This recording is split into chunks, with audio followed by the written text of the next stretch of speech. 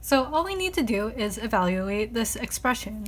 So whenever we see a shift, then we take that number, so let's say 11101, and then we look at whether it says R or L. So if it's R, then we start on the right, and then we look at dash 3, so or a dash number.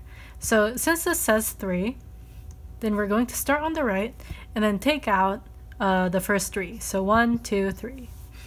And so these two get shifted over to the right.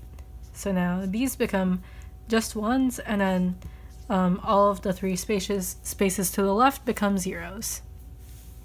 Likewise, if we had L shift um, 2, then using the same number here, 11101, we'd start from the left, take out 2, shift these remaining over to the left so we have 101, and then fill up the two remaining spots with just zeros.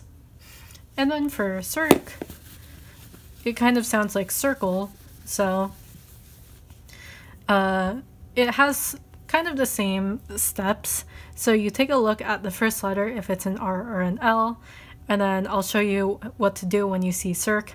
And then these two just tell you um, how many you're going to move. So with the same number, we're starting from the left and we're selecting the first two.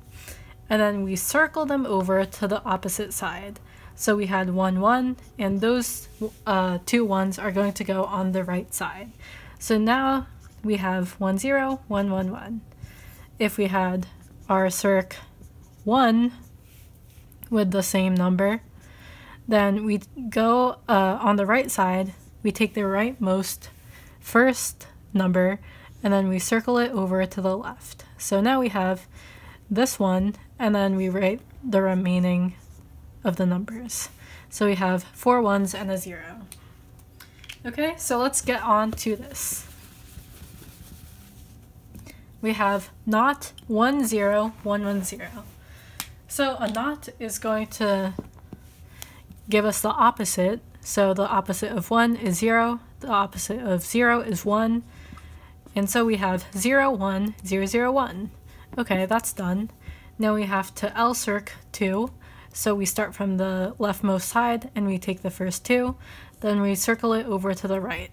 So now we have 0, 0, 1, and then we circled the 0 and 1 over. So this is done, and then R shift 3. So remember, we're starting from the right, taking out one, two, three, and then circle, I mean shift these two over. So 0, 0, 0, 0, 0. And that's our answer.